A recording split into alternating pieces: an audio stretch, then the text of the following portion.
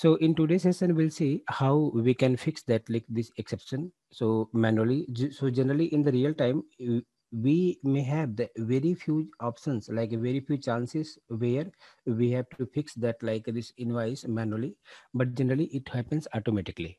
Okay, but this is something you know like it is completely like relevant to the financial activity. So that Ariba has given lots of conditions that we can utilize those conditions to recon to just uh, validate the information from the invoice against purchase order or the receiving.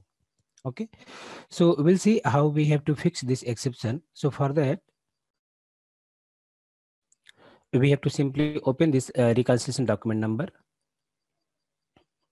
and this something uh, we already dis already discussed in our previous session. Like we'll see this two tab one is assigned to me second one is the all exception. So it depends on the authorization. So in certain case if the user they will have the authorization to fix this exception. So in that case he will see all the exceptions is assigned to me.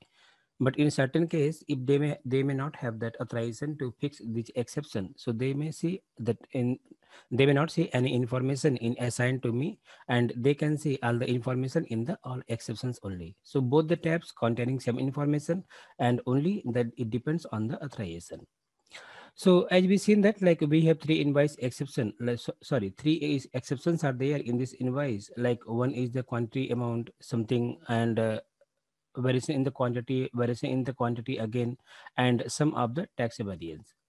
So what we have to do if we have to fix this exception, so we have to click on the edit. And once we click on the edit, the system will give these options to us to action menu. And we have to go in the action menu. So as discussed, like we'll have the three options to like uh, fix this exception. Either we can use accept expected quantity or we can use manual manual match options or we can defer to someone else. So basically when we click on this defer to someone else the system will give the options to like uh, like defer someone like uh, let's assume that we are new or we are only that you know that that like uh, that a junior level in the like accounts team and we do not have the authorization or might be i can we do, we cannot understand like what what are these exceptions. And we would like to refer someone like some senior peoples. In that case we can use this defer to someone else.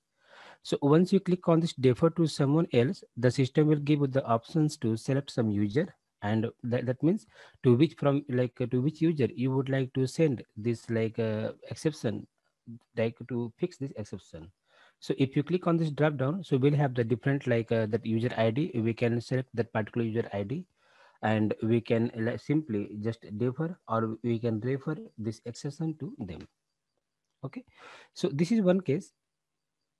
Second case is that like uh, the second option is that like manual match. So manual match is applicable in certain case might be, you know, sometimes that uh, that they may like purchase some product and they have not made the payment. And this time they receive the invoice as and they have like they have just committed to the vendor that in next uh, payment will pay this like uh, amount to you again to you. So that's something in that case they can simply just click on the manual match. So in that case they have to match it manually. So how we have to perform the manual match? So let me click on this manual match here And once we click on the manual match, system will give this screen here. So here we can see we have the two options. One is the invoice line item and second one is the order, order line item. That's something system is showing like how many, uh, like what is the quantity in the our invoice and what is the quantity in the, our purchase order. So accordingly, since we are going to match, so we have to simply use these options to match. Okay, so we can see in the first line that we have the invoice line item. So in the invoice line item that we have the quantity six and we have this price. Same way if you see in the order line item so we have the quantity five and the price something is the, like uh, something different. Okay? So what we have to do we, we we have to like match it manually so we can see we in the both the line item we have the options of this edit edit.